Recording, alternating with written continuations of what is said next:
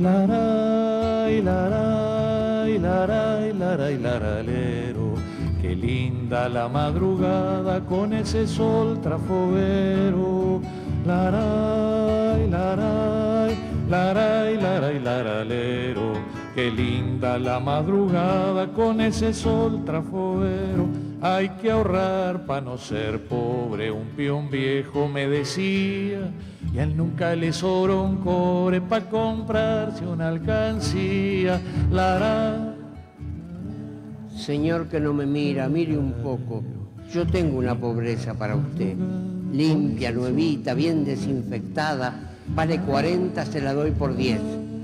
Señor que no me encuentra, busque un poco, mueva la mano, desarrime el pie, busque en su suerte en todos los rincones, piense en las muchas cosas que no fue. Bichito guapo el hornero, trabajador como un peón, no necesita dinero y a más y a más no tiene patrón. Lara. Le vendo la pobreza, es una insignia, en la solapa puede convencer. Qué cosas raras pasan en el mundo, usted tiene agua, yo no tengo sed. El sueldo de un peón carrero nunca se debe aumentar pa' que valore al dinero y no aprenda a malgastar. Lara. Tiene su cáscara, su Dios, su diablo, su fe en los cielos y su mala fe. Lo tiene todo, menos la pobreza. Si no la compra, llorará después. Va como propaganda, como muestra. Quizá le guste y le coloque 100. Pobreza sin los pobres, por supuesto, ya que los pobres nunca huelen bien. Los peones, dijo un doctor, no son hombres delicados, a ellos no le hace el dolor porque están, porque están acostumbrados. La... Pobreza abstracta, sin harapos, pulcra, noble al derecho, noble del revés. Pobreza linda para ser contada después del postre y antes del café. Señor que no me mira, mire un poco. Yo tengo una pobreza para usted. Mejor no se la vendo. Le regalo la pobreza por esta única vez. Qué linda la madrugada con ese sol trafoguero. Cuando se haga llamarada va a alumbrar al mundo entero. Laray, laray, laray, laray, laranero. Qué linda la llamarada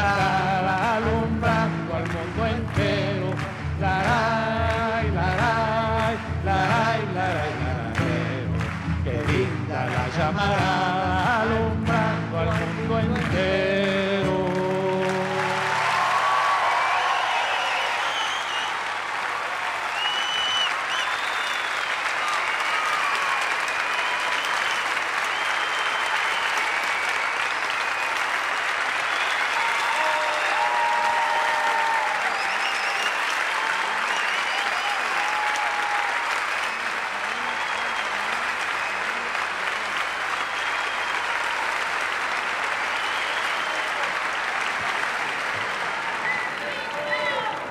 Bueno, vamos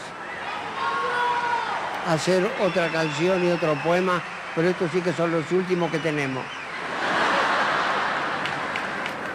Este es un poema, se llama Una mujer desnuda en lo oscuro.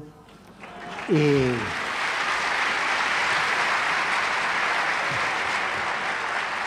en realidad es una letra de canción que no se asusten, no se los voy a cantar. Simplemente lo voy a leer. Una mujer desnuda y en lo oscuro tiene una claridad que nos alumbra, de modo que si ocurre un desconsuelo, un apagón o una noche sin luna, es conveniente y hasta imprescindible tener a mano una mujer desnuda. Una mujer desnuda y en lo oscuro genera un resplandor que da confianza. Entonces dominguea el almanaque, vibran en su rincón las telarañas y los ojos felices y felinos miran y de mirar nunca se cansan. Una mujer desnuda y en lo oscuro es una vocación para las manos, para los labios es casi un destino y para el corazón un despilfarro. Una mujer desnuda es un enigma y siempre es una fiesta descifrarlo. Una mujer desnuda y en lo oscuro genera una luz propia y nos enciende. El cielo raso se convierte en cielo y es una gloria no ser inocente. Una mujer querida o vislumbrada desbarata por una vez la muerte.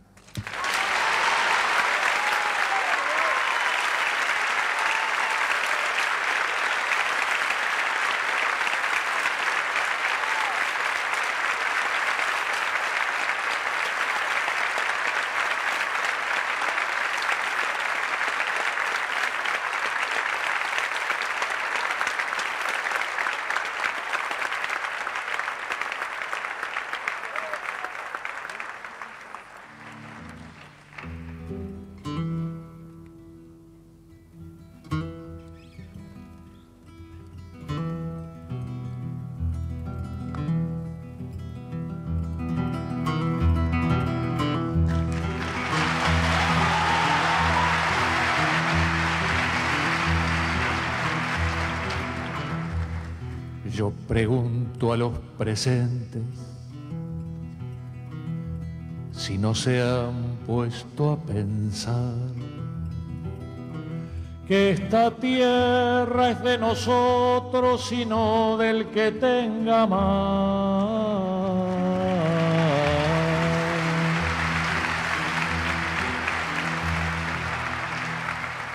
Yo pregunto si en la tierra nunca habrá pensado usted que si las manos son nuestras, es nuestro lo que nos dé. A desalambrar, a desalambrar, que la tierra es nuestra, es tuya y de aquel, de Pedro y María, de Juan y José.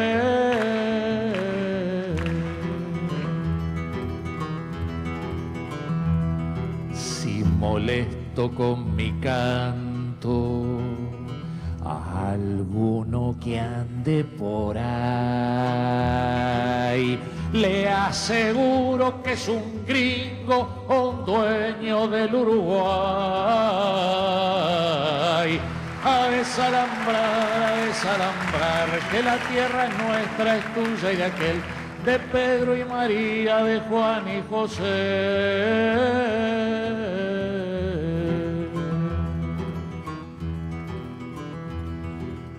Pregunto a los presentes si no se han puesto a pensar que esta tierra es de nosotros y no del que tenga más.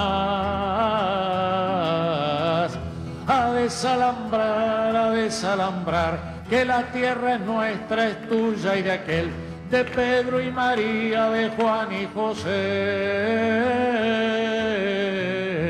Que la tierra es nuestra, es tuya y de aquel, de Pedro y María, de Juan y José.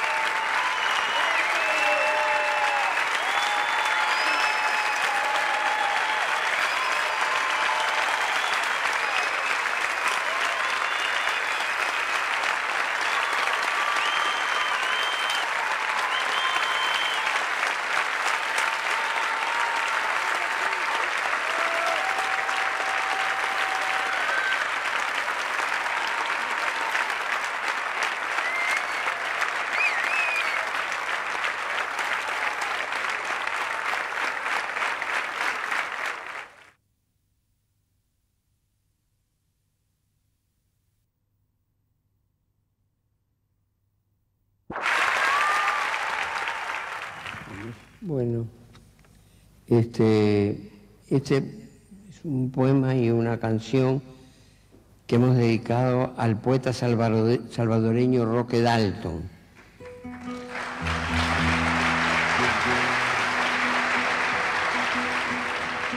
que fue un gran amigo, un gran combatiente y que fue asesinado por razones políticas. Empiezo con mi poema. Ahí va. Llegaste temprano al buen humor, al amor cantado, al amor decantado. Llegaste temprano al ron fraterno, a las revoluciones. Pulgarcito de poeta que se escapa y me cosquilla, tan alegre, tan sencilla, tan de amores torrenciales, tan sin fin Alegría de una tierra que se quita la frontera, se desnuda las caderas, las volcánicas centrales de la luz. Cada vez que te arrancaban del mundo, no había calabozo que te viniera bien. Asomabas el alma por entre los barrotes y no bien los barrotes se aflojaban turbados, aprovechabas para librar el cuerpo. Usabas la metáfora ganzúa para abrir los cerrojos y los odios con la urgencia inconsolable de quien quiere regresar al asombro de los libres. Yo lo vi, yo lo vi, yo lo vi, yo lo vi. El año 32 él no vivía y yo lo vi contando sus historias de futuro, iba entre mil. Yo lo vi, yo lo vi, yo lo vi. Le tenías ojeriza la pureza porque sabías cómo somos de impuros cómo mezclamos sueños y vigilia, cómo nos pesan la razón y el riesgo. Por suerte eras impuro, evadido de cárceles y cepos, no de responsabilidades y otros goces, impuro como un poeta, que eso eras, además de tantas otras cosas. Pobrecito los poetas, ven visiones, son daltones, donde hay hueso ven marrones, territorios prometidos como un sol. Tan bracito su poesía se levanta en los sensuales laberintos marsupiales y reparte polen rojo, se abre en flor. Ahora recorro tramo a tramo nuestros muchos acuerdos y también nuestros pocos desacuerdos y siento que nos quedan diálogos inconclusos, recíprocas preguntas nunca dichas, malentendidos y bien entendidos que no podremos barajar de nuevo, pero todo vuelve a adquirir su sentido si recuerdo tus ojos de muchacho, que eran casi un abrazo, casi un dogma. Yo lo vi, yo lo vi, yo lo vi, yo lo vi. Era el año 3000, ya él no vivía y yo lo vi. La muerte equivocada lo llevó y él anda aquí. Yo lo vi, yo lo vi, yo lo vi. El hecho es que llegaste temprano al buen humor, al amor cantado, al amor decantado, al ron fraterno, a las revoluciones, pero sobre todo llegaste temprano, demasiado temprano, a una muerte que no era la tuya y que a esta altura no sabrá qué hacer con tanta vida pulgarcito de poeta que se escapa y me cosquilla, tan alegre, tan sencilla, tan de amores torrenciales, tan sin fin crece armado de esperanza, desentierra lo perdido, le hace un hijo de sonido al silencio de ese pueblo que es maestro de sus sueños, que se escapa y nos cosquilla, tan sin miedo, tan sin silla, que se escapa y nos cosquilla, tan sin miedo, tan sin silla, tan amado, tan armado, tan de todo Salvador.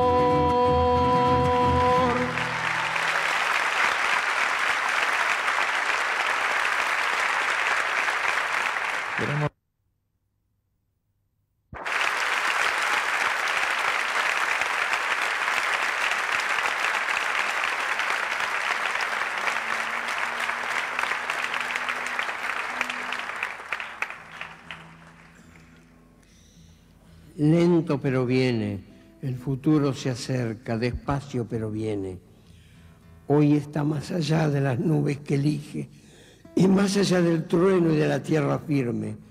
Demorándose viene como flor desconfiada que vigilara al sol sin preguntarle nada.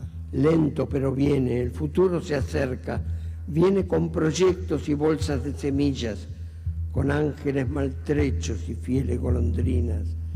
Despacio pero viene, sin hacer mucho ruido, cuidando sobre todo nuestros sueños prohibidos y los recuerdos yacentes y los recién nacidos. Lento pero viene, el futuro se acerca, despacio pero viene, ya casi está llegando con su mejor noticia, con una estrella pobre sin nombre todavía. Lento pero bien, el futuro real, el mismo que inventamos nosotros y el azar, cada vez más nosotros y menos el azar. Lento pero viene, el futuro se acerca, despacio pero viene, lento pero viene, lento pero viene, lento pero viene.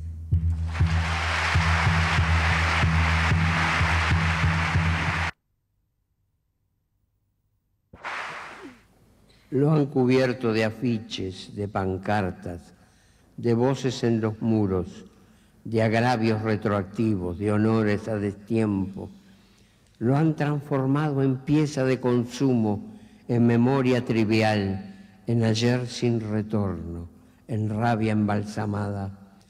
Han decidido usarlo como epílogo, como última tule de la inocencia vana, como añejo arquetipo de santo, o Satanás.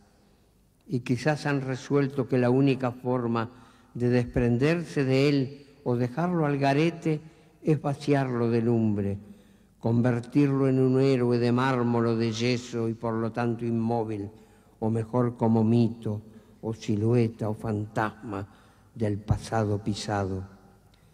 Sin embargo, los ojos incerrables del Che miran como si no pudieran no mirar, asombrados tal vez de que el mundo no entienda que tanto tiempo después sigue bregando dulce y tenaz por la dicha del hombre.